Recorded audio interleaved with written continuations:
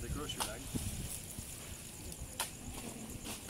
stomach lining is so thin from the acid that her stomach is literally perforated with squid beaks, puncturing it because it got so thin from so much plastic that it's trying to digest and it can't digest it. So literally these little squid beaks are like little needles, giving her basically an ulcer because it's eating the lining out of her stomach, trying to digest what little food she can